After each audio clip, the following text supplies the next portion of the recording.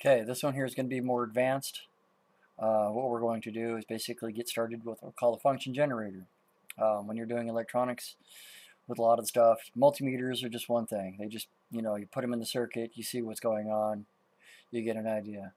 So over here, if you left click the function generator, you can bring it into the schematic. The only thing you have to remember is to attach the common. So there's your function generator, you can double click on it. Normally what we do is we start off with a kilohertz because that's generally most equipment's going to be tested against 1 kilohertz center band uh, for its frequency response. Normally we do not start off with 10 volts peak to peak. Uh, more like more generally 1 volt would be just fine. If you understand what the offset is all about, you're good. Um, all I can tell you is, is that it's the difference between DC and AC. And you have different waveforms that we generate. Um, sine waves, triangle waves, and square waves. You're going to be using this a lot to generate signals throughout circuits to see what they do, especially in the digital land. We use it in analog just so that we can see what the waveform is going to do when it's modified. So here we have a 1 volt, you know, 1 kilohertz signal. We're going to run it, you're going to be like, where are you going to run that? Right into the middle of the voltage divider. And you're just like, that's crazy. Yeah, trust me, you normally would have a cap involved right here, but the multi-sim lets you get away with just putting it straight up in the middle. And you can see just by using a regular oscilloscope, you're going to be using these a lot. Make sure to attach your negatives on the negative side. If not, you know, across, you know, whatever is the component you're testing. For us, uh, for multisim to get an idea of what it looks like, we start off with something like this. In the real world, you get funny results. Most signal generators have caps put into their outputs, if not resistors and caps put into their outputs to you know prevent shorts and stuff of that nature. But for illustration purposes of just getting used to what we call a signal generator, a function generator, and an oscilloscope, because this is where most of the work is going to be done. So we hit play, and you can actually see the waveform, the AC 1 volt waveform. Normally we'll sit and watch 1 volt per division. Okay, then you can basically change it out for time delays. If you've never played with an oscilloscope, just ask. I've used them. Uh, don't have anything digital storage, but analogs, yes. And starting off with analog works a lot better. And analyzing, just your simple waveform. Simple sine wave, nothing fantastic. Um, to me, depends on you know if you used a regular oscilloscope, normally just hit normal or single shot. That way you get an idea of, hey, that's what that's looking like right there.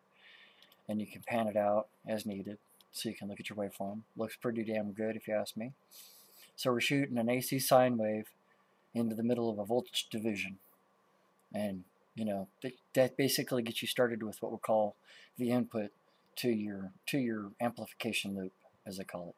Or, you know, new term, because most people don't look at circuits as being loops through time. So, but needless to say, for, for the function generator, basic operation, um, in the real world, nothing beats getting to play with the real item. But you can just see simple function generator up, plugged into the circuit. Does it work? Is it set up? Can I see the output? Does, you know, and I like it because when you use your your uh, spy glasses or your tags, it'll tell you what frequencies in those areas. So if you look right here where I put the voltage, it says 1 kilohertz. And I love that because you know when you're building a circuit, it's good to know what frequencies at what stage you know, how good, how's the waveform look. And it says right here, you know, 2 volts peak to peak, you know, kicking through right in here. You know, nothing fancy. 1 volt per division, 1 volt, 1 volt, 2 volts. Pretty straightforward. So there's your simple function generator used in a simple DC circuit you know, and an oscilloscope attached to it so that way you get an idea of what the world looks like. So if you hook this up in the real world, you know where to set the time domain, you already know where to put the scope, and as I have learned, or just don't forget, those watch the grounds. So if you have a circuit that you don't want attached to ground, in other words, earth ground, just make sure that you are aware that the scope's grounds are usually tied to the earth. So if you go probing around, be careful, be, be extremely careful. So anyway, there's your multisim 14 basic, you know, function generator, oscilloscope setup, you know, simple stuff, you know, but rudimentary for most folk to get to learn how to use um, just simple circuit constructs. You know, hey, why does this go here? Why does this go here?